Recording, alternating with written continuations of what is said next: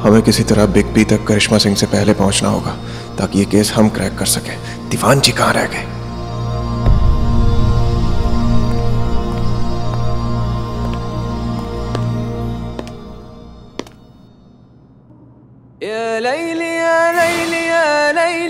जी कहिए। सर हम हैं। अरे दीवान जी अब ये कौन सा नया टंटा है? क्या ये भी ये क्यों गेटअप लिया आपने? क्या बने घूम रहे हैं आप? अरे सर गेटअप लिया है कस्टमर का। वो बिग बी से बात कर रही है ना फ़ोन पे? तो दीवान जी फ़ोन करने के लिए गेटअप लेने की क्या ज़रूरत है? आवाज़ सुनाई देती है दिखाई नहीं देती। वो आप नहीं समझेंगे सर। वो अपना बिल्लू है ना? अपना बिल्लू? मतलब हमारा बिल्लू वो कैदी बिल्लू आवारा बिल्लू। सर उसके हिसाब से कि पुष्पा जी अपने जमाने की प्रख्यात कलाकार रह चुकी है। मेथड एक्टर तो?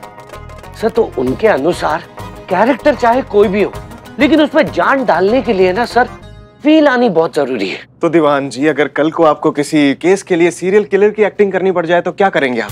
एक्टिंग में जान डालने के लिए रात को चाकू लेके निकल जाएँगे शहर की गलियों में लोगों का मर्डर करने।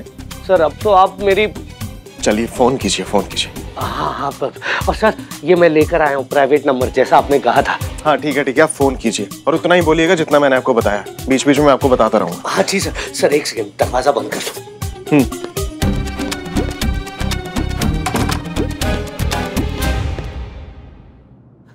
Ready sir? कीजिए।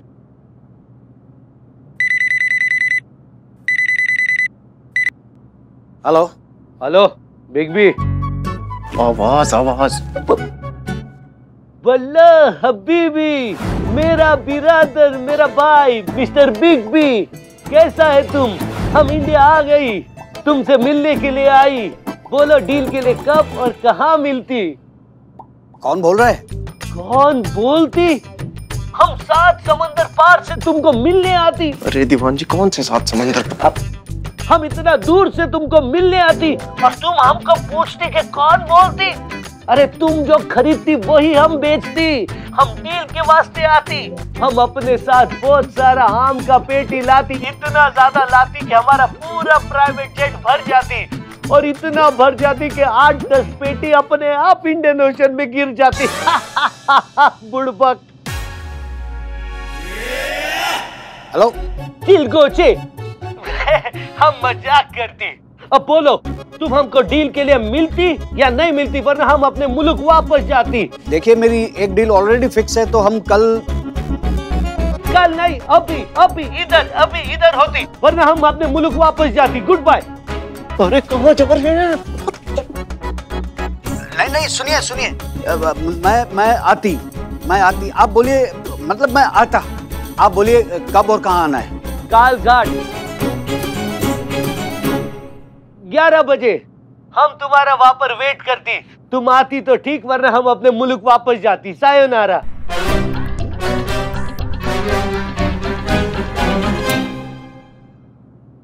सायन पारा होटल कालपीट वहाँ पर आके हम तुमको फ़ोन करती फिर हम तुमको मिलती। ठीक है समझ गई ना? समझ गई। मतलब समझ गया। मैं 11 बजे आपके बताई हुई जगह पे पहुँच जाऊँगा। ठीक है पल्ला हबीबी हम फ़ोन रखती।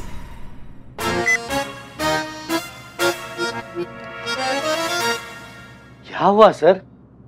कितनी ओवर एक्टिंग करते हैं दीवान जी।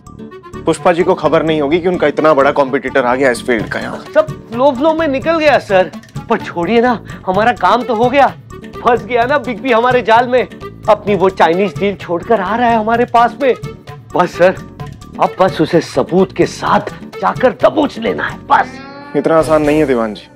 आपको क्या लगता है करिश्मा सिंह हाथ पे हाथ रख के बैठी होंगी? वो भी इसी डील के इंतज़ार में थी। इसलिए हमें कुछ ऐसा करना होगा कि ये दोनों ये बिग बी और पूरे हथियार हमारे शिकंजे में आ जाए। आदाब। आदाब। जी कहिए। हम तैयार हैं। बताइए क्या करना है। दीवान जी कौन है ये? अरे सर हम नहीं जानते इन्हें। हमने सिर्फ़ शेख का गेटअप लिया है पर ऐसे है नहीं। कौन है आप मोहतरमा?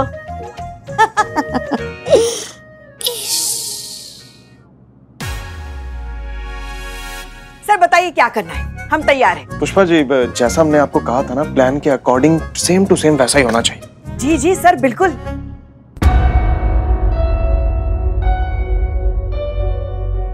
सब कुछ प्लान के ही हिसाब से होगा सर लेकिन आपके नहीं हमारे।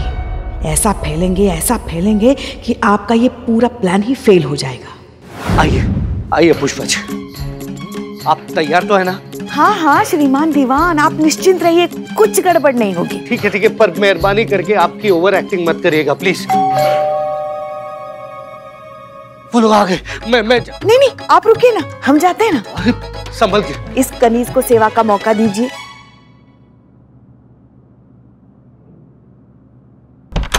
वल्ला हबीबी ओए बिग बी। आ जाओ कैसा है मेरा बिरादर? तुमको मिलने के लिए हम कितना तड़पती? क्या हुआ? तुम खांसती क्यों? सब ठीक है? सब ठीक है। क्या है कि हमको ये भूकंप टाइप भाईचारे की आदत नहीं है ना? अभी हमें वो सैंपल दिखाओ। अब भी दिखा दी सैंपल सैंपल लाओ।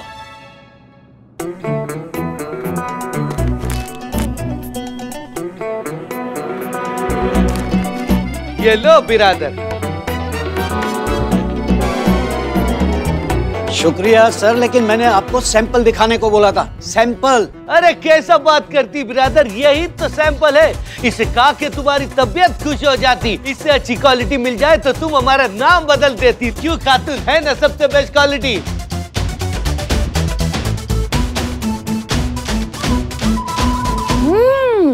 लाजवाब ज़िले इलाही। बवाल। बहुत ही बहुत ही लाजवाब है। अरे क्या मज़ाक चल रहा है? मैंने आपको हथियारों के सैंपल दिखाने के लिए बोला था। हथियारों के बात समझ में आई?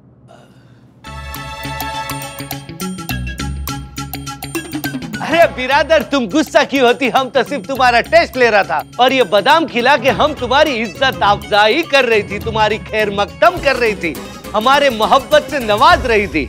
दिखाती है दिखाती है तुमको जो सैंपल देखती है वो भी दिखाती है।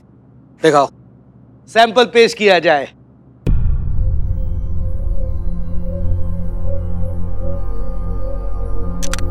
ये लो बिरादर, सबसे टॉप माल चेक करो।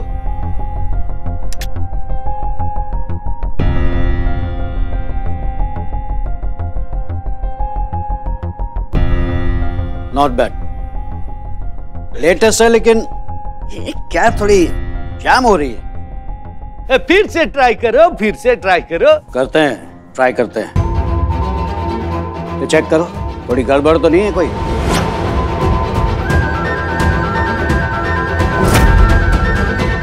गड़बड़ यहाँ पर है। कहाँ पर?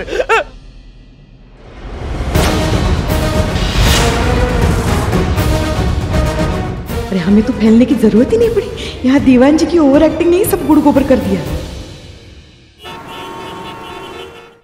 आदाब। आदाब हाय। बैठी बैठी आइए। ज़्यादा इंतज़ार तो नहीं करवाया हमने आपको? नहीं नहीं बिल्कुल नहीं। इनफैक्ट हमने आपके लिए फ़िल्टर कॉफ़ी पहले से ऑर्डर कर दी है। शुक्रिया। वैसे जब सब कुछ इतना सही चल रहा है तो क्यों ना बात आगे बढ़ाई जाए? मतलब अम्मी से बात करके निकाह की डेट फिक्स कर लेते हैं। बहुत जल्दी में आप हाँ हूँ। आपको देखने के बाद। अब खुद को यकीन दिलाना चाहता हूँ कि ये कोई ख्वाब नहीं है हकीकत है। और वैसे भी कोई बेवकूफ़ी होगा जो मतलब आपसे शादी करने में लेट करेगा। आपने आखिरी बार किसी सवाल का सीधा सीधा जवाब कब दिया था? मतलब नॉर्मली आप मज़ाक कर रही है ना? बिल्कुल नहीं।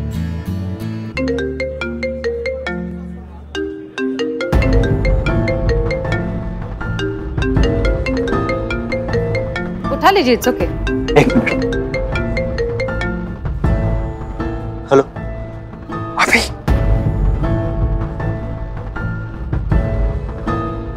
वाले थे ना साथ में। अरे समझो कर ये हसीना जी के साथ है। ठीक है आते हैं। कहीं जाना है? वो एक अर्जेंट मीटिंग थी। पहले अब्बा जाने वाले थे फिर उनकी तबीयत नासाज हो गई तो मुझे जाना पड़ रहा I hope you don't mind no no of course not बिल्कुल नहीं। आपको बिल्कुल जाना ही चाहिए। अ, कोई बहुत बड़ी बिज़नेस डील है? नहीं एक छोटा सा काम था बस। अच्छा नहीं हम इसलिए पूछ रहे थे कि अगर आप चाहें तो हम आपके साथ चल सकते हैं। इस बहाने थोड़ा सा साथ में वक्त बिता लेंगे इफ़ यू आर कंफर्टेबल मुझे बहुत खुशी होती बट आई एम सॉरी मैं अपनी पर्सनल और प्रोफेशनल लाइफ मिक्स नहीं करता हूँ। उनको अलग अलग रखना ही पसंद करता हूँ। I hope you don't mind no no of course not बिल्कुल नहीं। प्लीज़ आप जा सकते हैं। ओके बाय बाय बाय बाद में फ़ोन करेगा हाँ ज़रूर। या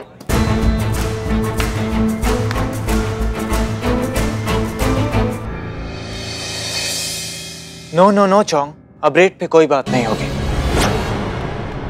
हमारी बात हो चुकी है ना? और बिग बी ने जो रेट तय किया है वही मिलेगा। पर डिलीवरी पे बहुत खतरा। बेक रिस्क कमीशन पे ज़्यादा आदमी ज़्यादा इन्वेस्टमेंट इसलिए रेंट भी ज़्यादा इंक्रीज होना चाहिए। नहीं कमिटमेंट इज़ कमिटमेंट मैं बिग बी से बात करूँगा। इंक्रीमेंट की बात अगली डील में। बात तो करके देखो बिग बी से। ये उसका डिसीज़न बदल जाए। चौंग वो बिग बी है। उनका हर डिसीज़न फाइनल डिसीज़न होता है। अंडरस्टूड हाँ। हाथ ऊपर। इधर इधर आओ, इधर आओ, हाथ ऊपर सबके। गन रखो नीचे रखो नीचे रखो।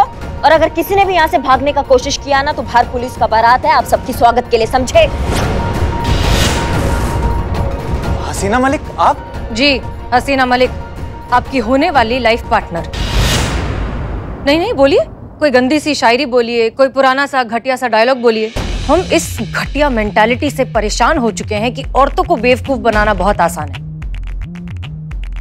क्या लगा कि आप मीठी मीठी बातें करेंगे जज्बातों के ख्याली पुलाव पकाएँगे और हम फंस जाएँगे? हम पहले से ही जानते थे कि आपका मकसद कुछ और है और वो क्या यही जानने के लिए हम आपको झांसा देते रहे। और वो था ये हथियारों की तस्करी आर्म्स डीलिंग मैंने बोला था ना बाहर बहुत खतरा है। चुप रहो। क्या लगा तुम्हें कि तुम हमसे शादी कर लोगे और हमारा ध्यान तुम्हारे इस काले धंधे पर कभी नहीं जाएगा? बड़ी बेमुरवत निकली मोहब्बत हमारी कि तुझ तक पहुँची भी तो हमारे फना हो जाने के बाद। चलें।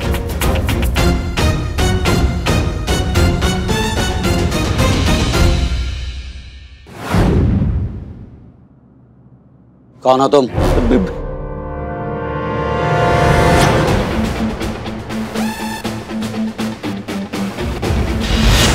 गन्स नीचे करो नहीं तो खोपड़ी उड़ा दूँगा। चेकर भाई। जल्दी। बस बस बस। आ चुका है। Relax relax take it easy let समझ आया पर आ गया। ये कौन है बताइए?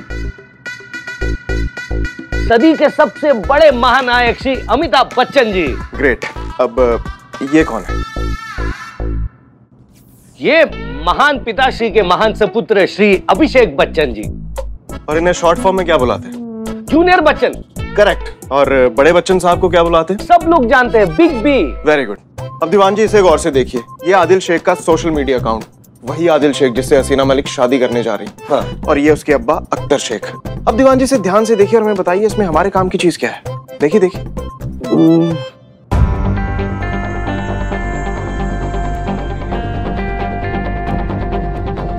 अरे सर ये तो बच्चन जी का हार्डकोर फ़ैन लगता है। पूरे अकाउंट में उनके फ़ोटोज़ लगे पड़े। अब और जरा ध्यान से देखिए और कौन सी चीज़ है जो हमारे काम की है।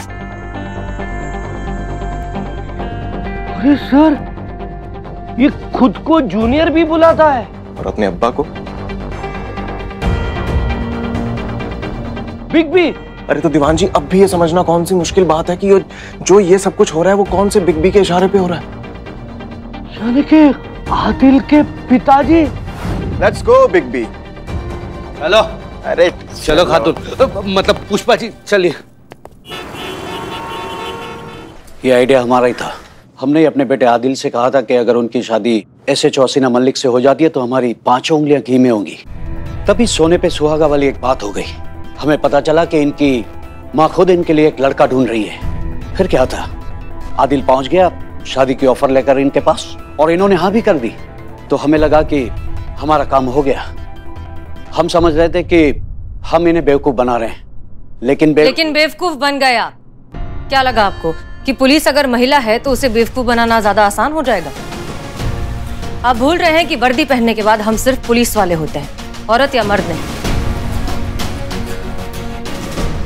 कुछ गड़बड़ है, ये तो हम तभी समझ गए थे जब अचानक हमारे सामने एक केले का छिलका आता है और फिर कोई हीरो की तरह एंट्री लेता है हमें संभालने के लिए। कोई बात नहीं, हमने इन्हें बेनिफिट ऑफ़ डाउट दिया, सोचा कि कोइंसिडेंस हो सकता है, लेकिन फिर हमें शक हुआ भाई साहब की स्पीड से। कुछ ज़्यादा ही तेज थे ये इम्प्रेस करने में जल्दबाजी, फिर प्रपोज करने की जल्दी, शादी के लिए हाँ करवाने की जल्दी, और कॉफ़ी हाउस में तो उन्होंने हद ही कर दी। जानना पहचान और लेने लगे हमारी फ़ोटो जब हम इनके फ़ोन में अपने फ़ोटोज़ चेक कर रहे थे, तब इन्हें एक आर्म्स डीलिंग से रिलेटेड मैसेज आया, जो हमने देख लिया। एनीवेज इसके बाद फिर हमने इनके फ़ोन में एक ट्रैकर इंस्टॉल कर दिया, ताकि इनके फ़ोन के मैसेजेस हमारे फ़ोन में भी आने लगे। उसके आगे जो हुआ, ये आप अच्छे से जानते हैं। इन्हें ढील देना, बात आगे बढ़ाना, शादी के लिए हाँ करना, ये सब इनके असली मकसद तक पहुँचने का एक नाटक था।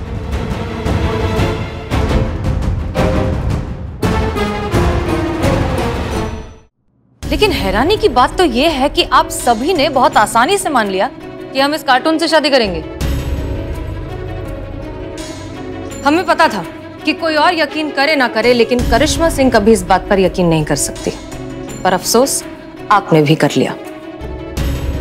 और पहुँच गई कॉफ़ी शॉप हमारे इस रिश्ते को तोड़ने के लिए। वो तो अच्छा हुआ कि इस कॉफ़ी शॉप में हम पहले से मौजूद थे। जी। सच है मैडम सर कि हम यहाँ आए थे आपका शादी तोड़वाने। किस लिए? देखिए मैडम सर हमारा जो मन मुटाव है ना वो एक तरफ़ है। लेकिन थाने के लिए हमारा जो धर्म है हमारा जो फ़र्ज़ है वो एक तरफ़ है। वो शत्रु महाराज हमारे सीनियर अमर सर ये सब उनका प्लान है मैडम सर। हमने खुद अपनी कानों से सुना मैडम सर वो दीवान जी को बता रहे थे कि कैसे हसीना मलिक को शादी के जंजाल में फंसाकर ये थाना हमेशा के लिए हड़प लेंगे और हम उनका ये प्लान कभी सफल नहीं होने देंगे मैडम सर। करिश्मा सिंह। तो अब आप हमारी बात भी सुनिए। हमारे आपसी मन मुटाव एक तरफ़। हमारा काम करने का तरीका भले ही कितना अलग क्यों ना हो। आपकी ईमानदारी पर और थाने के लिए आपके इस जज्बे पर हमें कभी शक हो ही नहीं सकता। और अब एक शॉकिंग न्यूज़ हम भी आपको देते हैं। हम कोई शादी वादी नहीं कर रहे हैं। आप बात करिए तो फिर ये सब मतलब हमको समझ में नहीं आया तो क्या? ये सब नाटक था। का? जी हाँ। हम जानबूझकर इस इंसान के पास रहना चाहते थे, इसे करीब से जांचना चाहते थे। जानने पर पता चला कि इन भाई साहब को ना ही अम्मी ने भेजा है और ना ही अमर विद्रोही ने। सवाल ये उठता है कि फिर ये बिन मौसम की बरसात क्यों? क्यों ये इंसान हमारी पूरी ज़िंदगी पर कब्जा करना चाहता है, लेकिन अपने बारे में कुछ भी बताने को तैयार नहीं? फिर हमें समझ में आया कि ये दरअसल किसी और ही फिराक में है। तुम्हारे फ़ोन में जो हमने ट्रैकर इंस्टॉल किया था उसी से हमें तुम्हारी आर्म्स डील के बारे में पता चला। हम तो तुम्हें उसी डील में पकड़ने वाले थे लेकिन थैंक्स टू मिस्टर अमर विद्रोही और उनकी दखल अंदाजी आपने एंड मोमेंट पर शेड्यूल चेंज कर दिया और एड्रेस भी। वन सेकंड मिस मलिक आप शायद भूल रही हैं इन्हें यहाँ पकड़ कर लाने वाले हम ही हैं। जी बहुत बहुत शुक्रिया। लेकिन ये जो पूरा रैकेट पकड़ा है वो हमने पकड़ा है और हमारी टीम ने। सो मिस्टर अमर विद्रोही ये केस भी हम ही ने सॉल्व किया है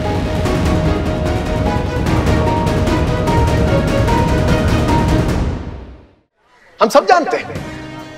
हमारे पुलिस विभाग की एक टीम ने हमारे पुलिस विभाग का सर गर्व से ऊँचा कर दिया है और ये प्रमाणित कर दिया है कि हमारे पुलिस विभाग की टीम अपराध और अपराधियों के विरुद्ध कटिबद्ध है।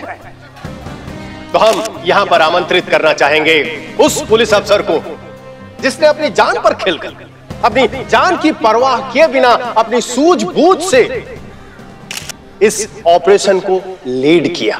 देखो दीवान जी हमने आपसे कहा था ना ये महिला पुलिस थाने वाले समझे ना समझे। डीएसपी सर सब जानते हैं। अपना टाइम आ चुका है दीवान जी अब देखते रहिए। तो हम स्वागत करते हैं। हसीना मलिक का।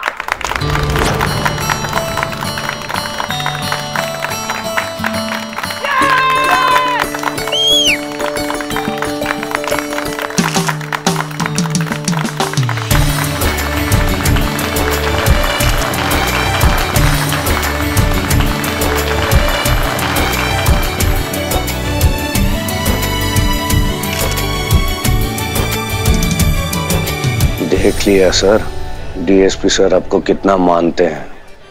आप समझते नहीं है सर मैंने आपसे कहा था कि ये औरतें हैं। ना कभी हारती हैं और ना ही कभी किसी को जीतने देती है। मुबारक हो सर एक औरत से एक और हार आपको मुबारक। देख लेंगे दीवान जी कोई बात नहीं। चलो इस चीज़ से एक बात तो अच्छी हुई कि गधे के पल्ले पड़ने से बच गई अपनी हसीना मलिक।